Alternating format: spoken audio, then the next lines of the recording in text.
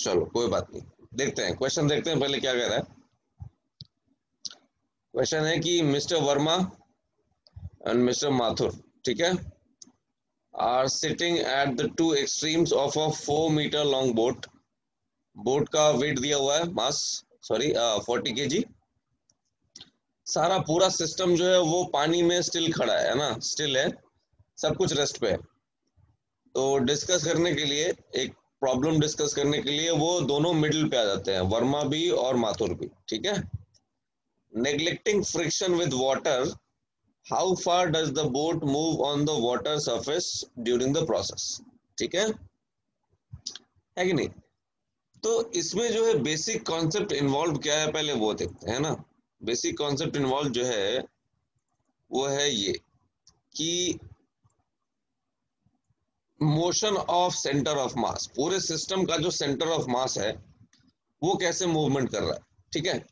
चलो देखो यहाँ पे क्या है। ये स्क्रीन दिख रहा है सबको मेरा? हाँ आ, ये हाँ, मेरा और, आ, लेफ़्ट वाले को मैंने ओरिजिन मान लिया ठीक है? दिख रहा है? यहाँ पे ओरिजिन है। बोट चूँकि चार मीटर लंबा है और मैंने मान लिया कि बोट का सेंटर ऑफ़ मास दो मीटर पे है, यहाँ पे सेंटर ऑफ़ मास है। ठीक है? चलेगा? है ना?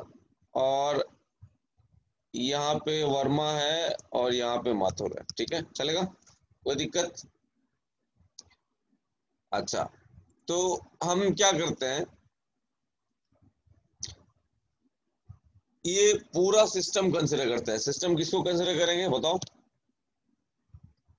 सिस्टम जो है मेरा, वो कौन सा किस किस को कंसिस्ट कर रहा है?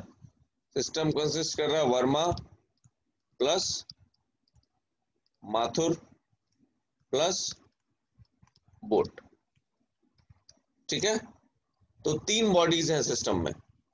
कोई परेशानी? आगे बढ़े? आगे बढ़ता है। तो इस पूरे सिस्टम पे ये जो पूरा सिस्टम है Verma plus boat plus Mathur इस पूरे सिस्टम पे हॉरिजॉन्टल डायरेक्शन में एक्स एक्सिस में कौन सी फोर्स है? एक्सटर्नल फोर्स है क्या कोई फोर्स है?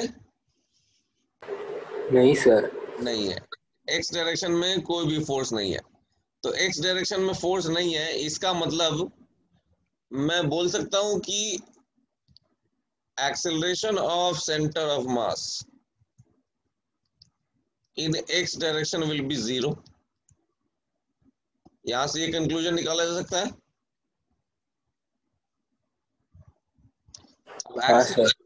अब acceleration of centre of mass of the system in X is zero इसका मतलब यहाँ से ये कंक्लूजन निकाला जा सकता है कि वी कॉम जो है वो हमेशा ज़ीरो ही रहेगा। क्योंकि इनिशियली वी कॉम ज़ीरो था। इनिशियली तो सब कुछ रेस्ट पे था ना? इनिशियली जब सब कुछ रेस्ट पे था तो सेंटर ऑफ़ मास का जो वेलोसिटी था वो तो ज़ीरो था ना? तो सेंटर ऑफ़ मास का वेलोसिटी हमेशा ज़ीरो ही रहेगा क्योंकि एक्सेलरेशन ज़ीरो है। है ना? Acceleration in X axis of centre mass is zero यानी कि वेलोसिटी जो है सेंटर ऑफ़ मास का वो हमेशा ज़ीरो रहेगा इसका मतलब जो एक्स कॉम है। जो सेंटर ऑफ़ मास का पोजीशन है, वो चेंज ही नहीं होगा। सेंटर ऑफ़ मास मूव ही नहीं कर रहा है तो उसका पोजीशन चेंज होगा क्या? नहीं होगा।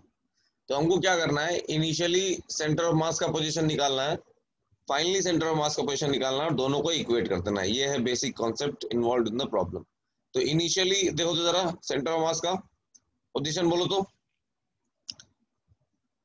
बताओ इनिशियली कितना है? ये पचास वाला तो ओरिजिन पे ही है। सर तो 15 two zero fifteen two zero plus board का मास इतना है फोर्टी है शायद है ना? Okay forty into two plus ये साठ वाला कहाँ पे है? सिक्स फोर मीटर्स पे तो चार 16 तो sixty into four divided by total mass capital M लिख लेता हूँ इसको मैं ठीक है? तो ये मेरा क्या हो गया? ये मेरा हो गया एक्स कॉम इनिशियल कोई दिक्कत? बोलो 240 प्लस 80 320 बाय एम एम क्या है? M is total mass of the system ठीक है? बोलो। आगे बढ़े। अब आगे क्या कहता है? आगे कहता है ये कि मान लेते हैं, हमको निकालना कि बोट का डिस्प्लेसमेंट कितना हुआ। तो मान लेते हैं कि बोट जो है एक्स डिस्टेंस फॉरवर्ड गया। कितना? Let's say the boat moves forward by a distance X alright और ये दोनों कहाँ पे ये दोनों कहाँ आ गए? एक ही जगह पे आ गए कहाँ पे? बोर्ड के मिडिल पे। दिख रहा है डायग्राम में? बोलो। तो हाँ अब ये मेरा ओरिजिन है। ठीक है? चलो अब सबका एक्स कोऑर्डिनेट बताओ तो जरा। वर्मा माथुर का एक्स कोऑर्डिनेट कितना है? बताओ तो।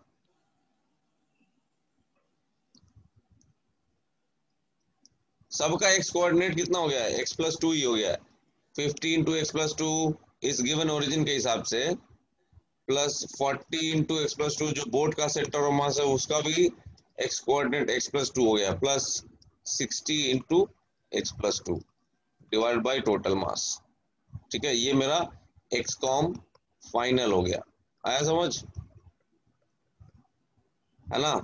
तो ये हो जाएगा नब्बे one fifty into X plus two one fifty into X plus two by M इसको इक्वेट कर देना है किससे? इनिशियल वाले से। ठीक है? सिंपल है।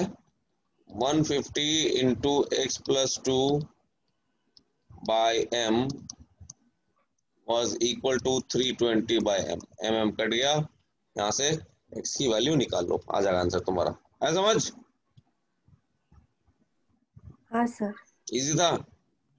सर आपने उधर पहले सिक्सटी केजी नहीं फिफ्टी के जी वाले आदमी को लिया ना? हाँ हाँ पहले लेफ़्ट में तो- 50 वाला था। ऐसे बताया क्या? क्योंकि मैंने सिक्सटी लिया और मेरा सेंटर ऑफ़ मास अलग आ रहा है मतलब वैल्यू चेंज होगी। हाँ बिल्कुल वो चेंज हो जाएगा। एक्चुअली जो मैंने क्या किया जो क्वेश्चन में पहले दिया होता ना उसको पहले लिया। तो ऐसा कुछ इशू नहीं है उसमें दिया होना चाहिए था क्वेश्चन में एक्चुअली मेंशन किया होना चाहिए था कि कौन लेफ़्ट में कौन राइट में। अलग होता है ना फिर। हाँ हाँ बिल्कुल सही है।